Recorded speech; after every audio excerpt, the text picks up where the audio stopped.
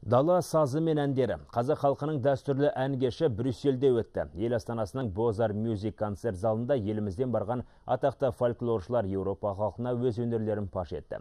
Домбыра мен қобызын өндескен таңғажайып өнер кеші Бельгия тұрғындарына қазақ халқының салт дәстүрі мен мәдениетін жеткізе білді. Домбыра мен қобыз және сыбызғының ғажайыбыны бельгия халқын ләззатқа бөледі. Қазақтың ұлы күйшілері құрманғазы мен дина нұрпейісованың туындыларын тыңдауға келген еуропа жұрты бұл кештен керемет әсер алды. Еуропаның қақ ортасында шертілген күйлер тыңдаушы қауымға қазақ даласының көрінісін сипаттап бергендей. Жалпы бельгияның тыңдаушысы жалпы тыңдау мәдениеті жоғарғы деңгейде деп айтуға болады. Жалпы бельгияның париждің тыңдаушылары әсіресе еуропаның ішінде басқа мемлекеттермен салыстыра қараған кезде. Біріншіден екіншіден мына қазақ өнеріне деген құрметі өте жоғарғы деңгейде әсіресе мына қазақтың дәстүрлі өнеріне дәстүрлі мәдениетіне деген. Домбыраға қобызға күй мен жырға өте ә, сондай бір үлкен ықыласпен қабылдап жатады. Соған біздер ылғи да ә, сондай өзіміз қуана қуана келіп жатамыз бұл жерде концерттерге. Бұл кеште қазақ күйлерін алғаш тыңдаушылар да болды. Сахнада орындалған әсерлі әуендер көптеген ұлттардың мәдениеті мен тілін біріктіргендей. Бүгін мен қазақтың әндері мен күйлерін алғаш рет тыңдадым. Керемет дүние екен. Әндер жоғары деңгейде орындалды. Бұл концерт маған өте ұнады. Жалпы европада қобыз өнері кеңінен қазір танымал деп айтсам артық емес. Себебі өткен айда ғана бір ай европаны аралап қобыз тарттым. Соның ішінде швейцария франция германия елдерінде.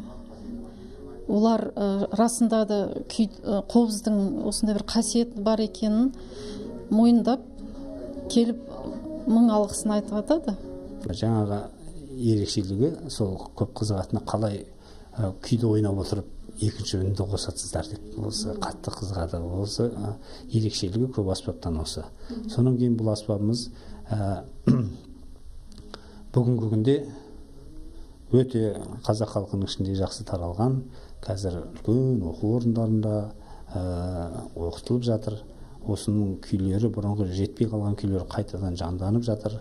Бүгінгі концертте де мен ойлаймын осы аспаппен бір қазақ даласының үнін естіртеміз деген ойдамыз. Залда ине шаншар орын болмады. Көрермен әрбір орындалған шығарманы ықылас қойып тыңдады. Алған әсерлерін жасыра алмаған халық қошеметті де аяған жоқ. Ғажайып әсер алдым. Қазақстанның керемет ұлттық аспаптарын көріп таныс болдым. Ал әртістер өз әндерін жоғары деңгейде орындап шықты. Мен бельгияда тұрып жатқаныма біршама уақыт болды. Әрине туған жерімді туған елімді сағынамын. Бүгінгі концертке балаларымды алып келдім. Олар қазақ әуендерін алғаш рет тыңдады. Ерекше әсер алды деп ойлаймын. Еуропа жұрты әсіресе көшпенділердің дәстүрлі әндерін қызықтап тыңдады. Атадан балаға мұра болып қалған туындылар өзге ел өкілдерін таңдай қақтырды. Өйткені қазақ өнері ешқандай өзгеріске түспеген ешқандай өңдеуге түспеген болмаса қоғамдық әлдеқандай бір құбылыс арқылы жойылып кетпеген сондай ә, тамаша саф өнер сондықтан еуропалықтар дән риза болады деп ойлаймын. Последний раз я такой концерт видел. Соңғы рет мен мұндай концертті осыдан 10 жыл бұрын Қазақстанда тамашаладым. Дегенмен есімде жақсы сақталмапты. Отандастарымды көріп керемет әндері мен күйлерін тыңдап қуанып қалдым. Қазақ халқының дәстүрлі әндеріне Бельгия жұрты дән риза. Шығармаларды шебер орындаған таланттарымыздың да еңбегі еленбей қалмады. Әдеттегідей қоштасар сәтте талғамы биік көрермен келесі кездесудің де ұзаққа созылмасына бар үмітін артты. Айнұр Әбдиева, Жанат Эрнс, Жомарт Ахметов, Бельгия, Брюссель.